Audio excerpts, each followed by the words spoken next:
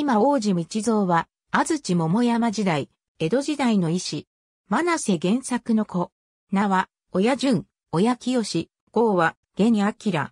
御用勢天皇より今王子の加盟を賜り、提発して、後に道蔵と称する。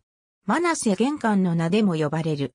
今、王子へは、初代、真瀬道蔵の門人が起こした真瀬各家の宗家となり、道蔵を襲名して、代々幕府の天役頭となった。父は、真瀬原作。母は、初代、真瀬道蔵の幼女。父より医術を学ぶ。幼少より、徳川秀忠に故障として使える。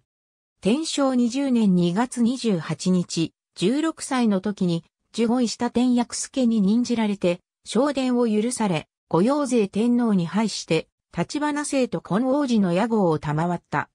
その後提発し、総意は慶長4年12月28日に、方言、慶長13年4月5日に法院に登った。慶長13年に、徳川秀忠より700国の地業地を賜る。慶長19年の大阪の陣に従軍した。元那9年11月、東福門院の南山を救い、秀忠から脇差しを賜った。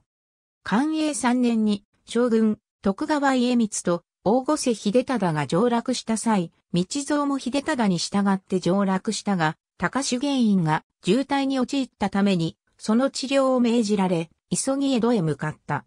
しかし、道蔵自身も、祈祷の途上発病し、9月19日に箱根宿で死去。箱根湯本の総雲寺に葬られた。ありがとうございます。